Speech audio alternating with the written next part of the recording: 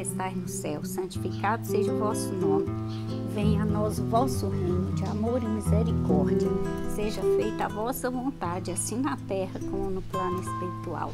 O pão nosso de cada dia dai-nos hoje, dai-nos o pão do corpo e do espírito. Perdoai-nos na medida que perdoamos os nossos ofensores. Não nos deixeis cair em tentação, mas livrai-nos, Senhor, de todo o mal pois teu é o reino, o poder e a glória para sempre. Amém. Uma alegria muito grande poder colaborar com vocês nessa experiência tão importante, tão fabulosa da nossa religiosidade popular. A partir da religião, a gente vai usar um termo aqui que existe as coisas concretas e existem as coisas transcendentais. As coisas concretas são coisas que a gente pode pegar. O transcendente é algo que está acima da cabeça, que a gente não consegue realmente pegar. Ela existe, a gente pode até sentir, mas a gente não consegue ver a olho nu. Daí então nasce a experiência da fé. O que é a fé? A fé é eu acreditar numa certeza, numa verdade verdadeira que eu tenho certeza que é verdade, mas que eu não consigo ver com os olhos humanos e nem apalpar com as mãos. Mas eu tenho certeza que realmente existe essa experiência. Eu toda vida tive muita fé. E meu pai, ele era uma pessoa humilde da roça, ele não tinha muito estudo.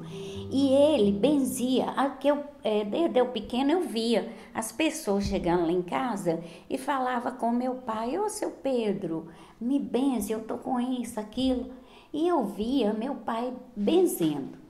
Aí eu, eu via o resultado daquela pessoa.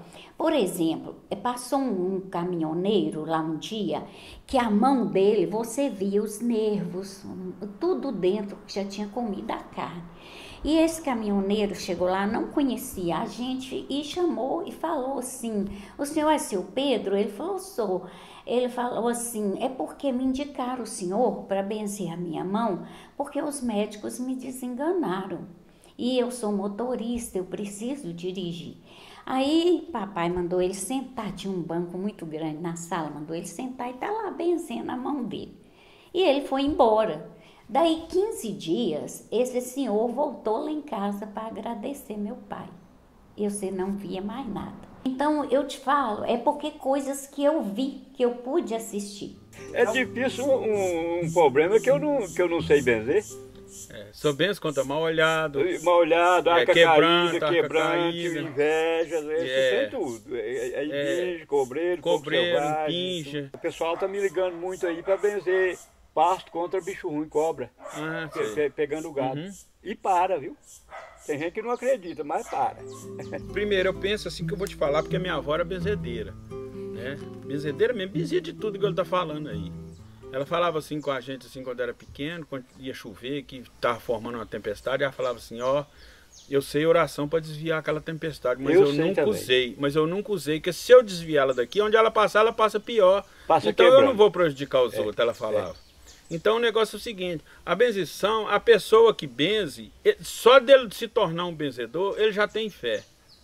Às vezes eu, eu tenho fé na, na, nas pessoas que benzem, porque eu já vi o que, é que acontece quando a pessoa pratica uma benzição. Porque eu já vi a minha avó benzer e, e, eu perceber, eu enxergar assim, as coisas acontecer, a cura acontecer. O resultado, né? O resultado da benzição. É, tem que ter fé no santo, em Deus e tudo, né? Porque se não tiver, não adianta.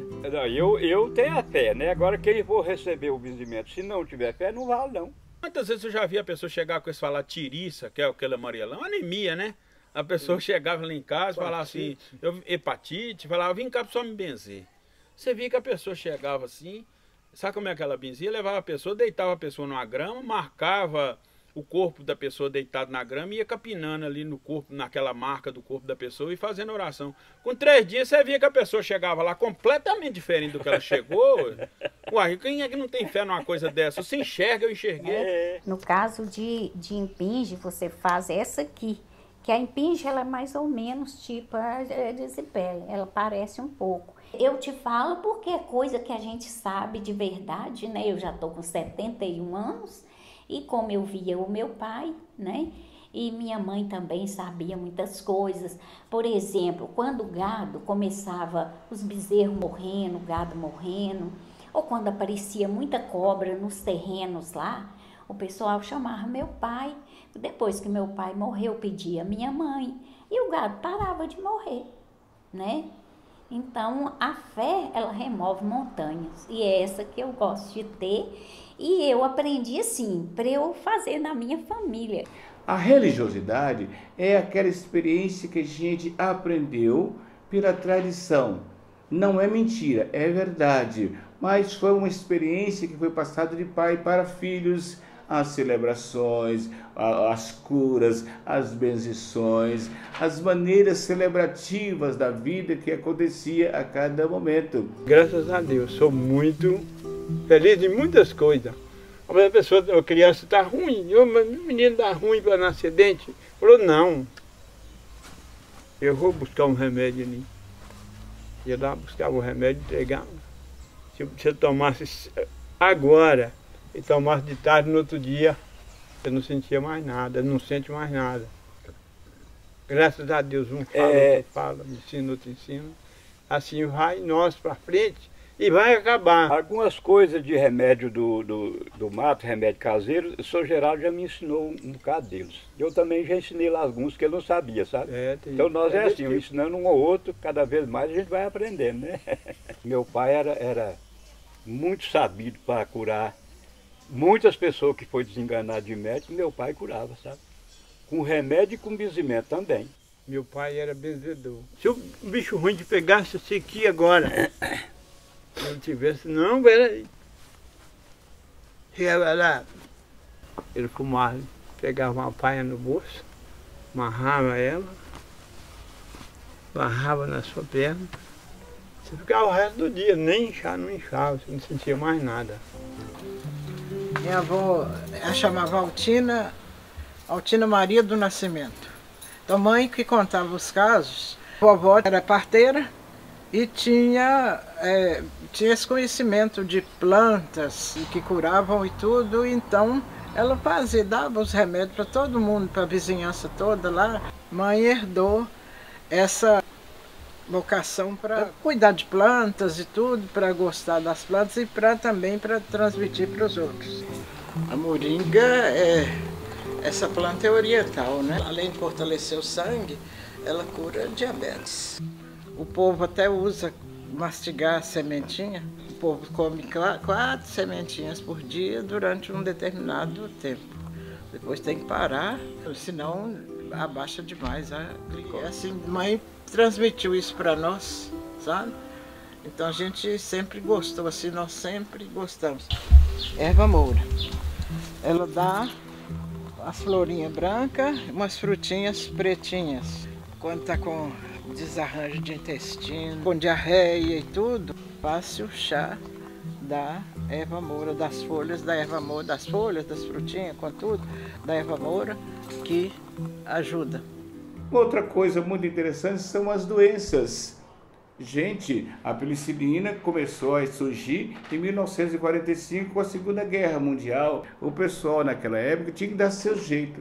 Então, através dos índios e dos negros, eles trouxeram muitos, muitas formas de celebrar de fazer realmente celebrações curativas para eles, e os índios trabalhavam, além da celebração, do rito celebrativo, eles utilizavam as plantas. Essa, essa planta, ela é antiviral, ela controla até o vírus da AIDS. Essa aqui é insulina. Ele cai semente ali e nasce todo ano na chuva. Resina de angi. Eu não fico sem ela porque esse aqui é um excelente remédio para o pulmão. Eu vejo as ervas medicinais não é como um remédio popular, eu vejo cientificamente. Porque quando eu conheço um remédio natural, uma planta medicinal, eu busco estudar a respeito dela.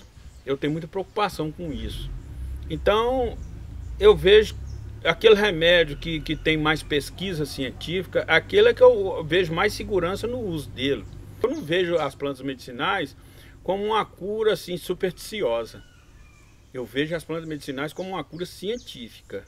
Agora já a benzição, aí já entra a, é, a, a fé, a pessoa já leva para o lado da fé, leva para o lado assim da, da, da, energia. Porque eu acho, eu penso que, que a benzição para mim é uma troca de energia, porque o ser humano, nós em si, nós temos energia que a gente não sabe nem de que, que são capazes. Porque eu penso que uma pessoa que usa a benzição, ele tem uma energia muito forte e muito boa para poder fazer isso. Eu acho que envolve isso aí, não é simplesmente só o uso, o uso das palavras, não.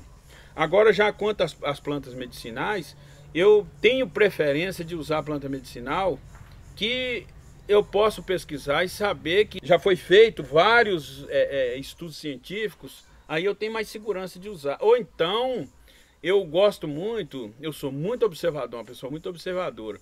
Eu, quando eu tomo uma planta medicinal, eu fico ligado em todo tipo de reação que pode ter no meu organismo. Então, quando eu conheço uma planta que ela é uma planta que, que, por exemplo, assim, que eu nunca usei, uma planta nova, eu faço o chá dela ou qualquer coisa assim e tomo um pouquinho. E espero várias horas para ver se eu tenho algum tipo de reação, que talvez ela pode ser boa para o Antônio, ser boa para ele, mas no meu organismo pode dar uma reação alérgica. É. Antigamente a gente tomava matruz Santa Maria, que era bom para o brigueiro, inclusive para encanar os ossos quando quebrava. Antigamente não tinha gesso, a gente colocava filhos de taquara no braço para o braço se encanar, e assim sucessivamente os lubrigueiros, e as febres, e as benzições. Era muito interessante, né? Claro, depois que eu estudei aprofundei, vi, claro, algumas dificuldades, porém, mesmo eu estudado hoje, vendo as dificuldades, eu respeito, porque o que, que está em profundidade? Não é tanto aquilo que o benzedor fala, mas é a força mental, o desejo dele de querer que aquilo aconteça e a fé de quem o procura com o ramo, que geralmente sempre a gente vai benzer com o ramo, aquele ramo tem algo medicinal que vai ajudar a você, por exemplo, a sair daquela situação. Que seja curado Jesus com vosso sangue, com vosso poder, porque vós é Pai, vós é Filho, vós é o Espírito Santo. Amém. A religiosidade popular nossa, ela é esse tesouro, algo profundo e que eu respeito em profundidade.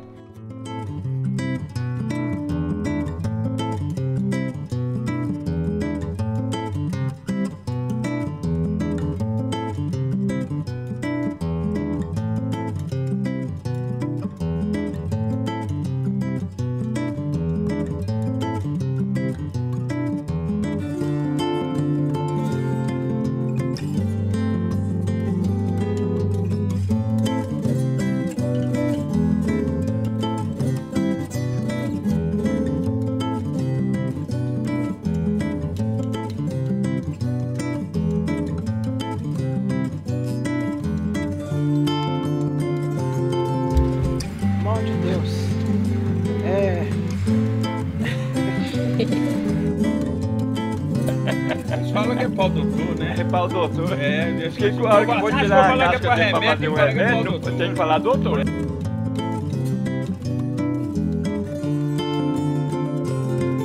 Nós rezava a prece e chovia mesmo. E eu estou muito relaxada, eu tenho que rezar. Eu tenho que rezar mais. Agora pronto. Não, vamos, vamos começar agora. Eu já esqueci o que eu falei, não? Pelo menos é mais barato que o remédio, né?